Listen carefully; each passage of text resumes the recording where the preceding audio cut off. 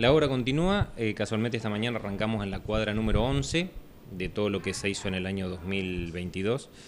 Este, realmente sí, se, le hizo un cambio importante a muchas cuadras del pueblo, a un barrio como es el sector noreste del pueblo, que por ahí estaba un poquito más relegado.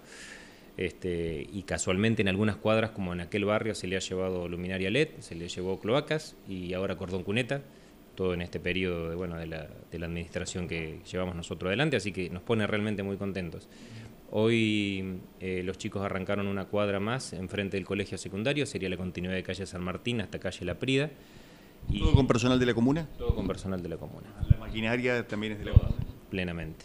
Así que todavía tenemos unos metros cúbicos de material que hemos comprado, que hemos adquirido en el mes de noviembre y bueno, con eso vamos a terminar este, esta cuadra de sobre calle San Martín y volvemos a calle este, Moreno entre Belgrano y Santa Fe a darle también la última cuadra que nos queda de encauzar el agua.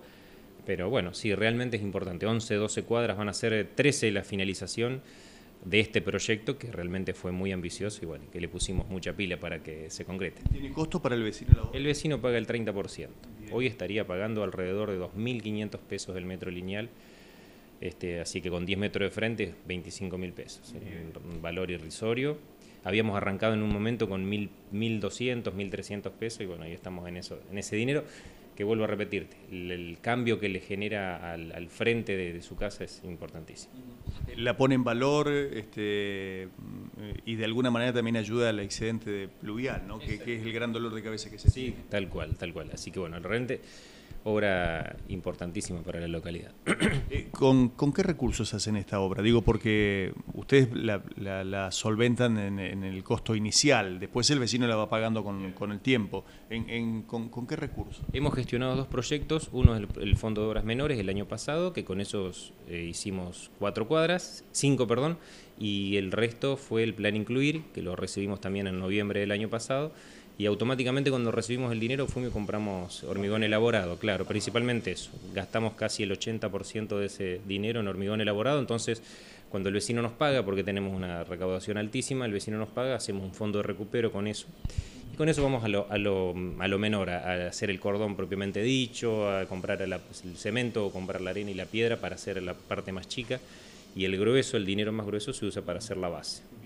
¿En cuánto tiempo o cuál es el plan de pago que le dan al vecino? Nosotros lo dividimos en seis cuotas, o es contado, tres cuotas o seis cuotas, y en, tanto en tres y en seis con un interés mínimo también. Pero bueno, es accesible, sumamente accesible. Qué bueno la predisposición del vecino de, cumplir con, el, con este tributo para que se pueda continuar ¿no? con la obra. Es que es la única manera, porque si, o sea, el 100% de la obra no la podemos hacer de manera gratuita, eh, si bien ese fondo de recupero a los seis meses ya devaluó con la inflación que hay, pero bueno, nos sirve para nosotros para poder proyectar algo más y hacer alguna otra cuadrita que por ahí no está en el presupuesto.